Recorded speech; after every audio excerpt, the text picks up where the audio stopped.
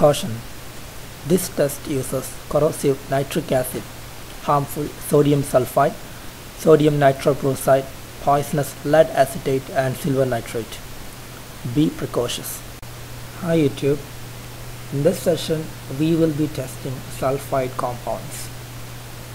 The chemicals you need are soluble sulfide, sodium nitroprusside, lead acetate, silver nitrate. Let us begin.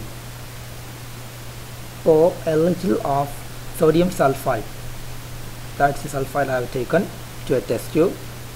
Take some lead acetate with a dropper and pour it into the sulfide solution. We can see that a black precipitate is formed.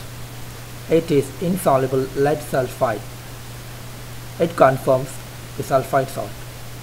Now, for the other test. Take another test tube and pour some sulfide solution. I have already prepared some sodium nitroprusside solution. Add it into the sulfide solution. You can really see the beautiful purple color. It confirms sulfide. Now we do the last test. Take some sulfide solution in a test tube and add some silver nitrate solution into it. A black precipitate is formed. Now add boiling dilute nitric acid to it. It slowly begins to disappear.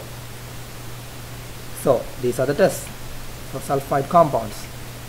Thank you for watching. Please subscribe, rate and comment. Bye bye.